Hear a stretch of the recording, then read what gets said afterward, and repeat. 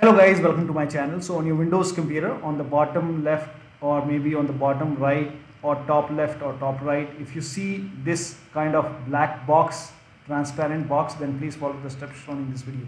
So if you want to get rid of it, if you want to remove this, then open GeForce Experience on your computer. So type in GeForce Experience.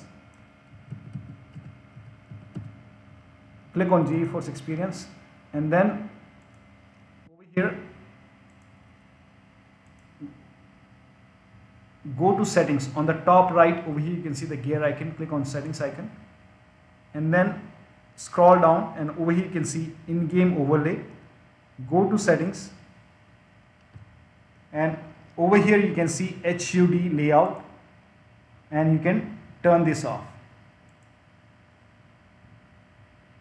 You can go to status indicator also.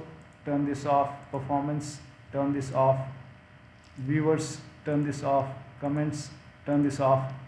Now once you turn off the HUD layout now you can click on done.